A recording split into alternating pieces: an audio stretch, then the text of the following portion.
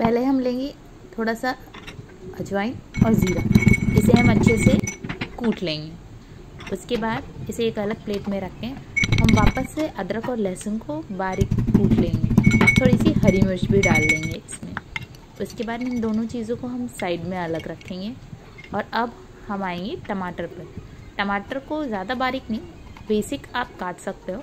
और उसके बाद हम अपना तवा गरम करेंगे। सरसों के तेल में ये सबसे बेस्ट बनती हैं। उसके बाद हमने जितने मसाले कूटे हैं, गरम मसाला, हींग थोड़ा सा डाल के और तेज पत्ता डाल के इसे अच्छे से फ्राई कर लेंगे। फिर थोड़ी सी हल्दी, लाल मिर्च पाउडर और धनिया पाउडर डालकर अच्छे से भून लेंगे।